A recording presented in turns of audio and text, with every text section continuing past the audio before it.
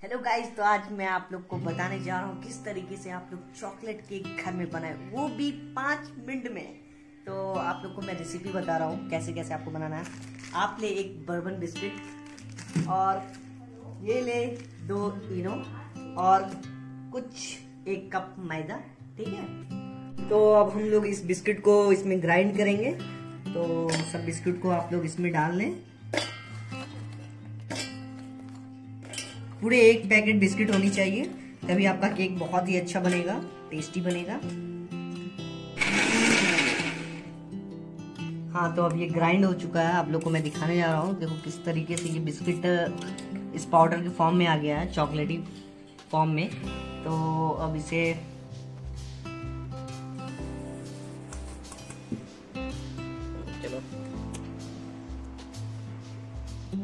हाँ तो अब हम लोग लेंगे एक कप मैदा, जो कि इसका क्वांटिटी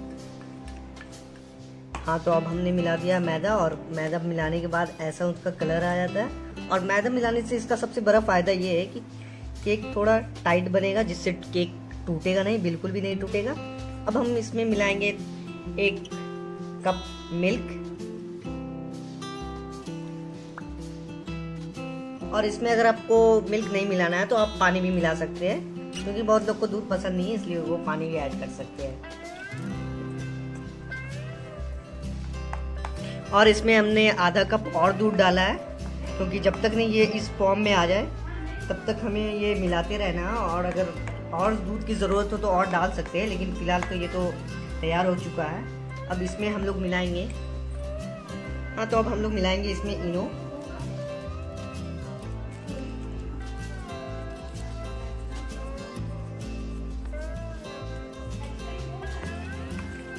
और इसका ख्याल रखें कि आप लोग जब एक डायरेक्शन में घुमा रहे हैं, इनों को मिला रहे हैं तो एक ही डायरेक्शन में मिलाएँ ना कि बल्कि अपोजिट डायरेक्शन में, क्योंकि इससे ना कुछ खराबी होती है, क्योंकि इसमें ना वो फटने लगते हैं। जैसे आप लोग को दिख रहा है कि फट रहे हैं धीरे धीरे तो इसीलिए इसको, इसे एक ही डायरेक्शन में घुमाया जाता है।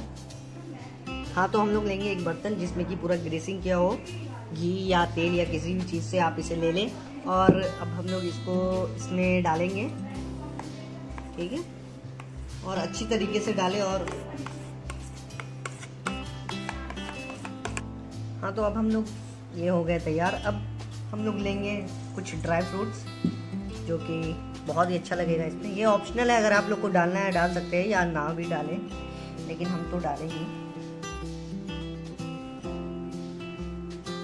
देखिए कितना अच्छा लग रहा है।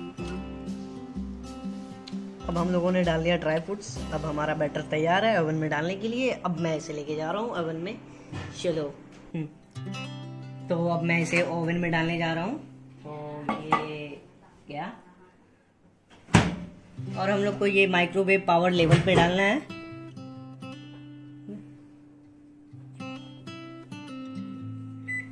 और हम लोग को पाँच मिनट सिलेक्ट कर लेना है। ठीक है? और हम लोग को ये स्टार्ट कर दिए। अब ये और यहाँ पे पाँच मिनट पूरे हो चुके हैं और फाइनली हमारा केक तैयार हो चुका है तो अब हम लोग निकालेंगे और देखने जा रहे हैं। वाह बहुत ही अच्छा केक बना है।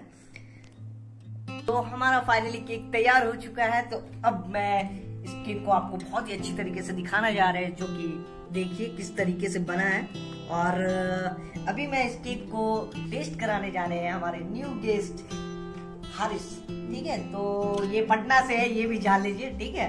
तो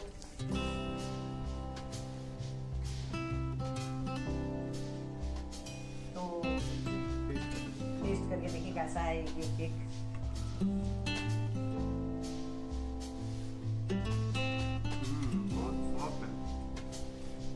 आपको कैसा लगा ये केक अच्छा हाँ ये ड्राई फ्रूट है अगर आपको इसका रेसिपी जानना है तो मेरे से ज़रूर मिले और मैं आपको अच्छी तरीके से बता दूँगा।